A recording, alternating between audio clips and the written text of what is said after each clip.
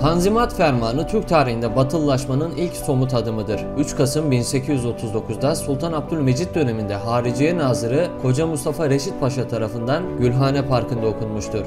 Fermana göre tüm vatandaşların can, mal ve namus güvenliği sağlanacak, hiç kimse yargılanmadan idam edilmeyecek, vergide adalet olacak, erkeklerin 10 yıl askerlik yapması zorunlu olacak, rüşvet ortadan kaldırılacak, herkesin mal ve mülke sahip olması ve bunu miras olarak bırakabilmesinin yolu açılacaktı.